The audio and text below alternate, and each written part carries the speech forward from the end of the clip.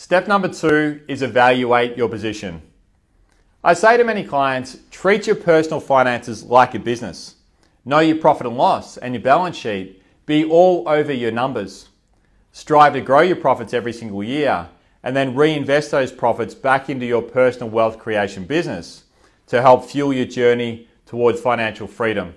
And of course, have a bit of fun along the way. Step number three is develop your strategy.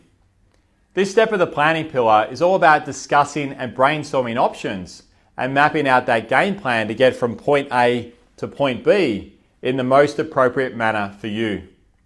Step number three becomes your framework to be able to make decisions. As I covered in last week's video, without a game plan or without a roadmap, people feel stuck like they're making no progress, or they feel uncertain with no direction. Step number three, develop your strategy, really helps bring all those pieces of the jigsaw puzzle together and provides a clear plan on how you can create and use cash flow to help make your vision a reality. In next week's video, we'll unpack pillar number two, the grow pillar.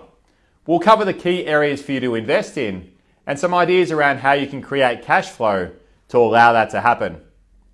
Thanks for watching. If you got some value from this video, feel free to like and share with others.